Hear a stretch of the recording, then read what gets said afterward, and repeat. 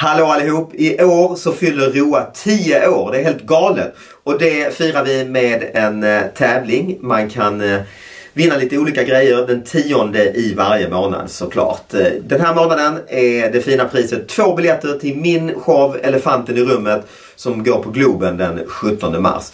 Det du behöver göra det är att svara på frågan hur många personligheter ligger på agenturen Roa? Svara på det, vinn biljetterna och kom sen såklart på jubileet i november, alltså till hösten. Välkomna!